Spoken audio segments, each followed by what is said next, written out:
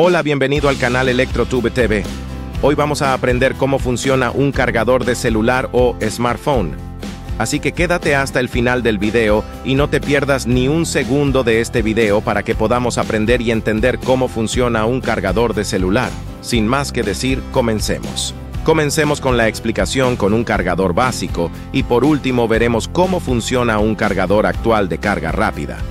Comencemos por la parte caliente o primaria del cargador, Pongamos por aquí la entrada de voltaje de corriente alterna de la red eléctrica, ya sea de 120 voltios o 240 voltios, junto con su rectificador de voltaje, que a su vez estará conectado con este capacitor de 400 o 450 voltios. De este lado, otro filtro. De este lado, un diodo. En estos lados, estas resistencia y de este lado, un integrado oscilador, que para esta explicación estaré utilizando él, de P3773, que es el mismo que podemos apreciar acá en la imagen. Bueno, el voltaje que entra de la red eléctrica de corriente alterna, ya sea de 120 o 240 voltios, entra por el puente rectificador de voltaje para convertirla o transformarla a corriente directa, y a su vez pasa por el filtro o capacitor de 400 o 450 voltios y ese mismo voltaje que le llega al filtro de 400 voltios entra al transformador chopper y ese voltaje que entra al transformador chopper baja por aquí y conecta directamente a estos dos pines, número 5 y 6, que son el colector del transistor de potencia BJT, que está interno en el integrado oscilador. Si escuchaste bien internamente, tiene un transistor de potencia, BJT. Bueno, continuemos.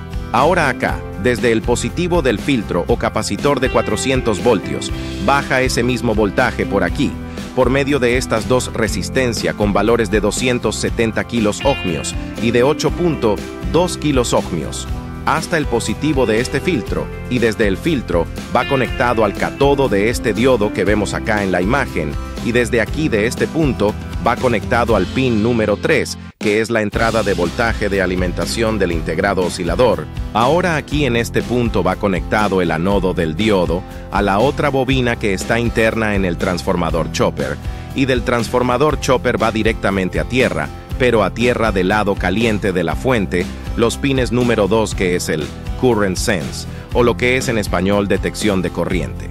Y el número 4 que es el emisor del transistor de potencia BJ, T que está interno en el oscilador van conectados directamente a tierra por medio de una resistencia de 10 ohmios.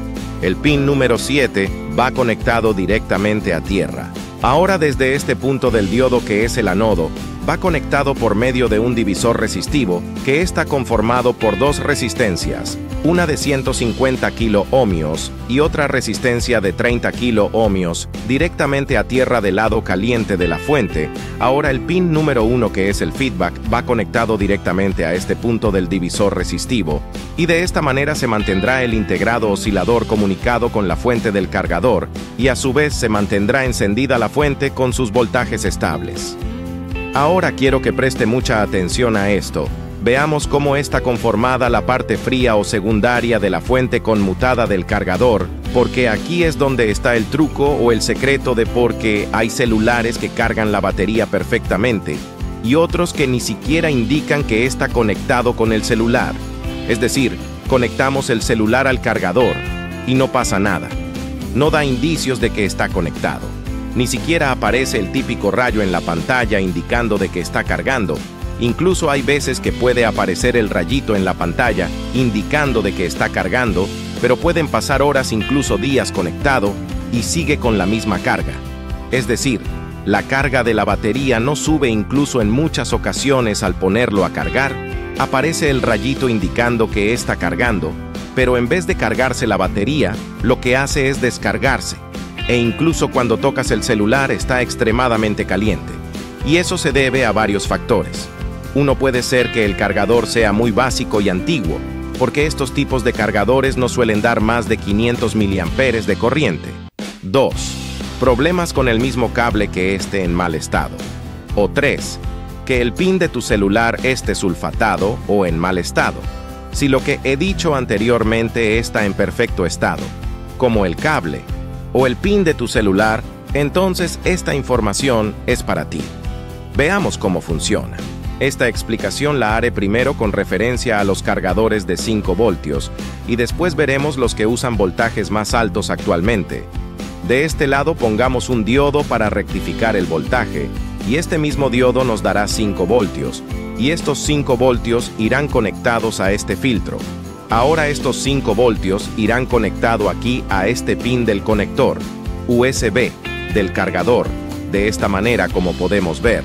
Y el negativo o tierra del filtro irá conectado de este otro lado del conector, así que de esta manera conectábamos antes cualquier tipo de celular básico al cargador y no había problemas. Podrías conectar cualquier celular básico y cargaba perfectamente, solamente usando el positivo y el negativo como lo podemos ver acá en la imagen. Pero ya no es así. Todo esto ha cambiado porque hoy en día hay celulares que ni siquiera reconocen el cargador, y eso se debe a que hoy en día los celulares y los cargadores necesitan las líneas de datos, de más y de menos, para mantenerse comunicado el celular con el cargador, y si estas líneas de datos no están presentes, no logrará cargar el celular rápidamente. Así que si tienes un cable que solo tiene dos contactos como este, no te servirá porque tendrás que tener un cable que tenga cuatro contactos como este, dos para el voltaje y dos más que son las líneas de datos para que el celular se comunique con el cargador. Sin más, continuemos. Habrán muchos cargadores que solamente tendrán puenteados las líneas de datos de esta manera como la podemos apreciar acá en la imagen. Y al conectar el celular, el celular reconocerá el cargador y comenzará a cargar perfectamente. Pero este tipo de cargador son muy básicos y antiguos, y con una corriente que no superan los 500 miliamperes. Ahora para cargadores un poco más avanzado la conexión para que haya comunicación entre el cargador y el celular tendrán un divisor resistivo de esta manera y de este divisor resistivo irá conectado directamente a estos dos pines de datos, manteniendo un voltaje que está alrededor de 1.2 voltios a 2.7 voltios máximo, y de esta manera se comunicará el celular con el cargador y el celular sabrá cuánta corriente puede tomar del cargador y comenzará a cargar más rápido, es decir, con más fuerza.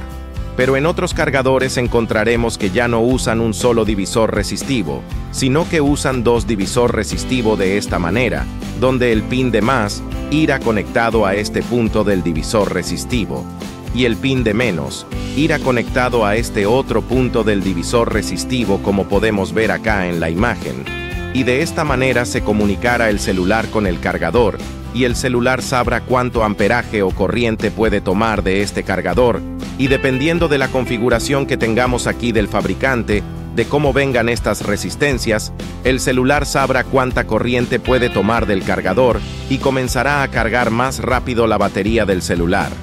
Si eres principiante, quiero que sepas que cuando hablo de corriente, me estoy refiriendo al amperaje que es capaz de entregar el cargador.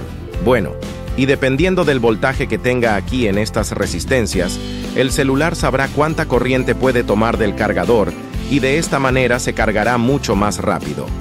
Algunas marcas, por ejemplo, Apple utiliza estas señales de datos para identificar si se está usando un cargador original o no donde el celular se encarga en medir el voltaje que tenga estas líneas de datos, por ejemplo, si tenemos 2 voltios de este lado y 2.7 de este otro lado, y de esta forma el celular detecta si está conectado a un cargador original, y a su vez es capaz de detectar cuánta corriente es capaz de sacar de ese cargador.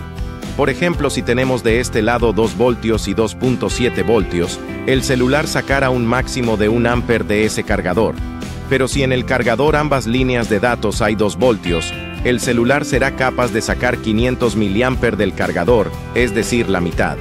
Para Samsung, si ambas líneas de datos tienen un voltaje de 1.2 voltios, entonces el celular sacará un amper de ese cargador. Esto es un circuito muy básico para la explicación, pero casi siempre está conformado de esta manera. Hoy en día los celulares han avanzado tanto que existen cargadores que me atrevería a decir que son cargadores inteligentes porque usan una tecnología llamada Quick Charge. Estos cargadores son capaces de entregar desde 5 voltios hasta 20 voltios. Si escuchaste bien 20 voltios que suelen salir del cargador y entrar directamente a tu celular para poder cargar la batería más rápido. Así que en un próximo video veremos cómo funcionan. Si te ha gustado el video no te olvides suscribirte, dejar tu comentario y darle like.